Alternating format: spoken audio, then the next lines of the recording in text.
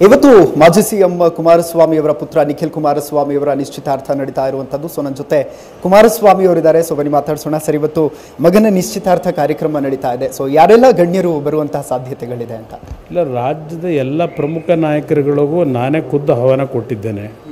ರಾಜ್ಯದ ಮುಖ್ಯಮಂತ್ರಿಗಳಿಂದ ಪ್ರಾರಂಭ ಆಗಿ ಮಾಜಿ ಮುಖ್ಯಮಂತ್ರಿಗಳು ಸಿದ್ದರಾಮಯ್ಯನವ್ರಿಗೂ ಸಹ ನಾನೇ ದೂರವಾಣಿ ಮುಖಾಂತರ ಆಹ್ವಾನ ನೀಡಿದ್ದೇನೆ. ಪಕ್ಷದ ಎಲ್ಲ ಪಕ್ಷಗಳ ಶಾಸಕ ಸ್ನೇಹಿತರುಗಳಿಗೂ ಆಹ್ವಾನ ನೀಡಿದ್ದೇನೆ. ಅದರ ಜೊತೆಯಲ್ಲಿ ರಾಜ್ಯದ ಹಿರಿಯ ಅಧಿಕಾರಿಗಳಿರ್ಬೋದು, ಪಕ್ಷದ ಕಾರ್ಯಕರ್ತರೇನಿದ್ದಾರೆ ಆ ಪ್ರಮುಖರಿಗೆ ಎಲ್ರಿಗೂ ಬರ್ತಕ್ಕಂಥದ್ದಕ್ಕೆ ಈಗಾಗಲೇ ಅವರಿಗೆ ಆಹ್ವಾನ ಕೊಟ್ಟಿದ್ದೇನೆ. ಇದರಲ್ಲಿ ಒಂದು ಕೆಲವರು ಬೆಳಗ್ಗೆಯಿಂದ ಫೋನ್ ಮಾಡಿ ಏನೋ ಪಾಸ್ಗಳು ತರಬೇಕಂತೆ ಅಂತಕ್ಕಂಥ ಒಂದು ಗೊಂದಲ ಏನು ಸೃಷ್ಟಿಯಾಗಿದೆ. ಯಾವುದೇ ಪಾಸಿನ ವ್ಯವಸ್ಥೆ ಇಲ್ಲ. ಎಲ್ಲರೂ ಮುಕ್ತವಾಗಿ ಬರಲಿಕ್ಕೆ ಅವಕಾಶ ಇದೆ. ಹಿತೈಷಿಗಳು ಬಂದು ನಿಖಿಲ್ಗೆ ಮತ್ತು ರೇವತಿಗೆ ಆಶೀರ್ವಾದಿಸಬೇಕು ಅಂತಕ್ಕಂಥ ಹೇಳ್ತೀನಿ. ಸರ್, ಈಗ ಏಪ್ರಿಲ್ ಹದಿನೇಳನೇ ತಾರೀಕು ಮದುವೆ ನಡೀತಾ ಇದೆ.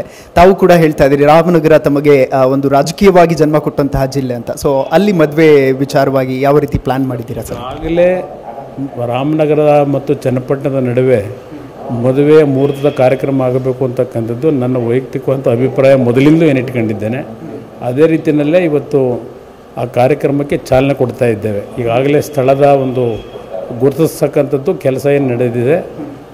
ಸದ್ಯದಲ್ಲೇ ಎಲ್ಲ ಮಾಹಿತಿಗಳನ್ನು ಏಪ್ರಿಲ್ ಹದಿನೇಳನೇ ತಾರೀಕಿನ ಮುಹೂರ್ತದ ಕಾರ್ಯಕ್ರಮಕ್ಕೆ ಯಾವ ರೀತಿಯಲ್ಲಿ ಸಿದ್ಧತೆಗಳಾಗ್ತದೆ ಅಂತಕ್ಕಂಥ ಒಂದು ಎರಡು ದಿನಗಳಲ್ಲಿ ಸಂಪೂರ್ಣವಾದ ಮಾಹಿತಿಯನ್ನು ಕೊಡ್ತೀನಿ.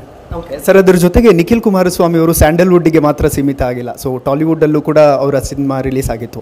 ಸೊ ಅಲ್ಲಿಂದ ಯಾರಾದರೂ ಬರ್ತಾರಾ ಸರ್ ಹೇಗೆ ಅಂತ? ಇವತ್ತಿನ ಇವತ್ತಿನ ಕಾರ್ಯಕ್ರಮ ಏಕೆಂದರೆ ಅತ್ಯಂತ ಸಮಯ ಕಡಿಮೆ ಇದ್ದಂಥ ಹಿನ್ನೆಲೆಯಲ್ಲಿ ನಾನು ಬೇರೆಯವರಿಗೆ ಹವನ ಕೊಟ್ಟಿಲ್ಲ. ರಾಜ್ಯದ ಎಲ್ಲ ಚಿತ್ರರಂಗದ ಗಣ್ಯರಿಗೆ ನಿಖಿಲ್ ಅವರೇ ಫೋ- ಖುದ್ದು ಫೋನ್ ಮಾಡಿ ಅವರಿಗೆಲ್ಲರಿಗೂ ಆಹ್ವಾನ ನೀಡಿದ್ದಕ್ಕೆ ನೀಡಿದ್ದಾನೆ.